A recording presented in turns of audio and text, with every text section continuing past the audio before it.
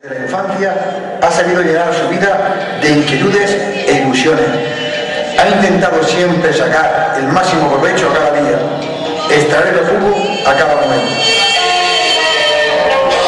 Nacido en la calle del Teatro Guerrero, cuando aún había teatro, empezó siendo testigo de la intensa vida cinematográfica, dramática y musical de su entorno.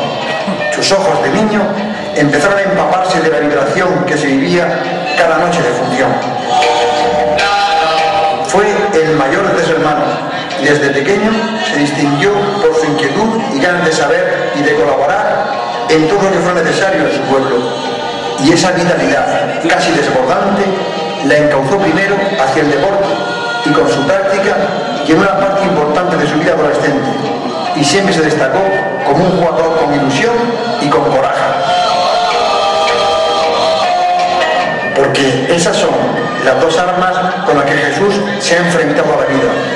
La capacidad de soñar con nuevas metas cada día y el tesón para alcanzarlas. Con ese bagaje ha logrado vencer las adversidades que la vida presenta día a día y ha conseguido su mayor satisfacción, su familia, que para él es la principal razón de su vida ella no ha regalado esfuerzo para sacarla adelante y ha sido el esposo y el padre sacrificado y constante, exigente y perseverante. Y además el hijo y el hermano siempre dispuesto y servicial. Y al igual que Jesús Lleno hace gala de su familia, también esta puede hacer gala de él.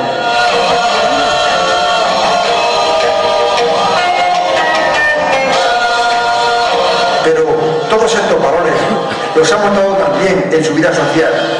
Y ello le ha hecho prestar a su pueblo un servicio impagable durante 35 años, pues ha sido el cronista y el portavoz de la realidad balanera más acá y más allá de la garita. Muy joven, comenzó su tarea de corresponsal en el desaparecido Línea, pasando después a la verdad, donde se ha convertido en el decano de sus corresponsales y donde es conocido y apreciado de esa familia periodística. Allí se mueve Jesús como por su casa, porque esa es para él su otra familia, pues saben que está siempre disponible. Así es, a grandes rasgos Jesús Hielo, un amigo leal, un padre entregado, un periodista constante.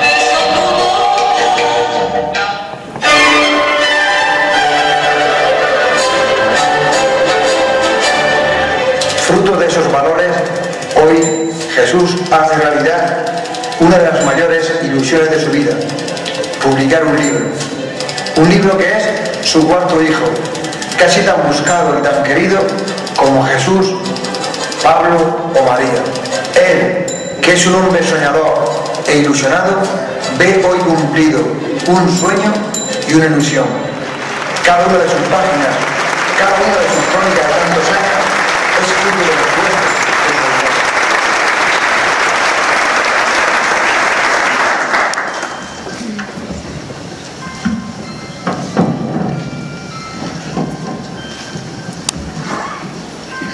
Ilustrísimo señor alcalde, ilustrísima señora directora general, ilustrísimo señor vicerrector de la Universidad de Murcia, autoridades, amigos todos, la de Jesús no ha sido una mano cómoda que se ha conformado con recibir el deber del pueblo sin esfuerzo. Antes, al contrario. El gran mérito de, este libro, del autor, como decía, es el tesón, el esfuerzo y el coraje para perseguir, detectar y reflejar cada día la noticia. Nos va a dirigir unas palabras don José Gil, como presidente del Centro de Sabanero, que es el que ha editado el libro.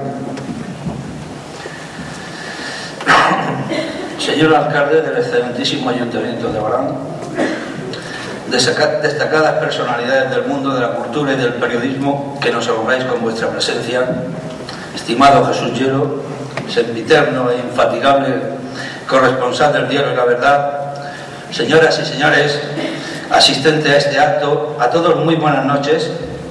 Asimismo, como presidente del Centro de Estudios Baraneros, entidad que suscribe la convocatoria del mismo, os doy las gracias por vuestra presencia. Voy a dirigir la palabra don Alberto Aguirre de Cárcel, director de La Verdad. Buenas noches. Yo voy a ser breve y porque fundamentalmente voy a decir, voy a improvisar unas palabras, pero yo quiero contar hoy lo que siento más que lo que pienso. Y lo que siento es un doble orgullo. Por un lado, por estar aquí con todos ustedes en Abarán y por otro lado, estar en la presentación de un libro de Jesús Hielo. Jesús Hielo supongo que todos lo saben, Jesús Hielo es una parte muy importante para la historia de, la verdad. No solamente porque representa, eh, porque es el, decano de los corresponsales que tiene el idioma en la región, sino porque Jesús Hielo representa lo mejor de, este periódico, representa la esencia del periodismo, de la forma de entender eh, esta profesión que tenemos en, la verdad. Lo que viene a confirmar es eh, el peso específico que tiene entre los profesionales del periodismo de esta región. Muchísimas gracias.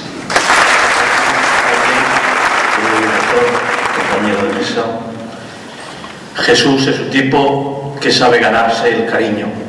La prueba evidente está esta noche. Municipal, ilustrísima señora directora general de Prevención de la Violencia de Género de la Consejera de Justicia y Seguridad Ciudadana de la Comunidad Autónoma de la Región de Murcia, ilustrísimo señor don José Fernández López, señores alcaldes de Blanca, Ulea, Ricotti y Ojos, señor vicerrector de profesorado de la Universidad de Murcia, señor juez de paz de Abarán, señores ex alcaldes de Abarán, señores párrocos de San Juan y San Juan Bautista, querido Juan Ramón Medina Precioso y José María Gómez Pino, querida esposa y familia, señor director de La Verdad, amigos y amigas del deporte, educación, sanidad, política, medios de comunicación locales y regionales, empresa, amas de casa, en especial mis queridas María Luisa y Elvira, a la que tanto debo, jefes y compañeros de Cinsur, señores y señores, buenas noches, bienvenidos al teatro y gracias por su asistencia. Y para terminar, el señor alcalde Antonio Eugenio Gómez nos va a dirigir unas palabras. Muchas gracias. Directora General de Prevención de la Violencia de Género, alcalde del Valle de Turricote, señores y señores, buenas noches. Acogemos esta noche, en este marco inigualable, la presentación de un libro de un corresponsal de la verdad. No es un corresponsal sino de nuestro corresponsal Jesús Es por tanto un motivo doble de alegría y de satisfacción para que todo nuestro pueblo estar aquí esta noche festejando este acontecimiento. Y por ello quiero sumarme a la, felicidad, a la felicitación a la persona de Jesús obra que hoy nos presenta. Bueno, ¿qué tal te encuentras después de esta gran presentación aquí de tu libro? Ya más tranquilo, ya. ¿Eh? ya Estás ya más tranquilico. Ha venido una asistencia terrible, ¿eh? Pues te lo agradezco.